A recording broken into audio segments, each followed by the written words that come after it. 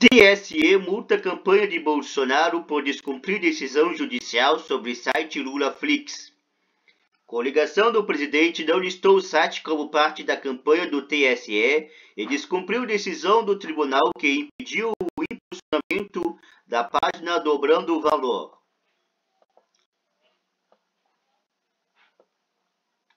Campanha de Bolsonaro é multado por não avisar a Justiça Eleitoral, que é dona do site LulaFlix. A campanha de Jair Bolsonaro, PR, foi multado pelo Tribunal Superior Eleitoral, TSE, em 75 mil reais por descumprir uma liminar que impedia a coligação do presidente de impulsionar o site LulaFlix, dedicado a criticar o ex-presidente Lula PT.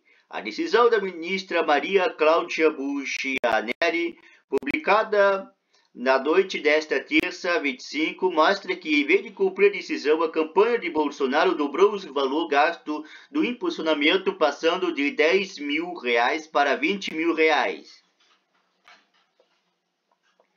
No caso, constata-se das provas carreadas aos atos que os representantes gastaram com a contratação de o impulsionamento de 11 a 13 de mês de 2022 cerca de 10 mil reais, posteriormente descumprimento à decisão judicial liminar pagaram novo impulsionamento de 15 a 18 de mês 10 de 2022 no valor de 20 mil reais. Essas circunstâncias atraem a aplicação da parte final do aludido dispositivo, devendo a multa ser fixada no valor de 60 mil reais, correspondente ao dobro da quantia despedida de 30 mil reais.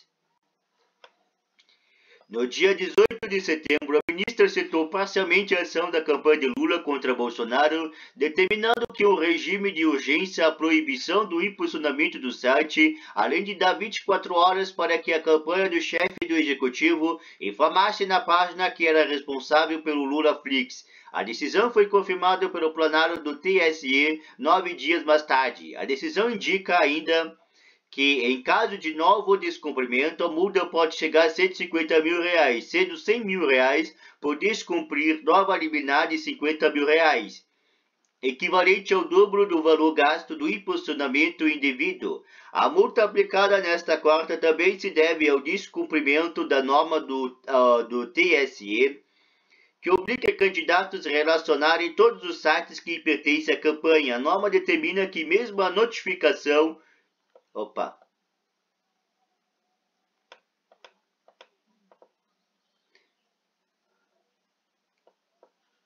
A decisão indica que em caso de descumprimento, a multa pode chegar a 150 mil reais, sendo 100 mil reais por descumprir nova liminar e 50 mil reais equivalente ao dobro do gado em impulsionamento indevido. A multa aplicada essa quarta também se deve ao descumprimento da norma do TSE, que obriga candidatos a relacionarem todos os sites que pertencem à campanha. A norma determina que mesmo a notificação posterior não impede a aplicação da multa. Em 10 de outubro, a ministra negou o pedido do PT para que o Lula Flix fosse tirado do ar, mas determinou que a campanha de Bolsonaro registrasse o site no, no TSE. Essa reportagem está em atualização.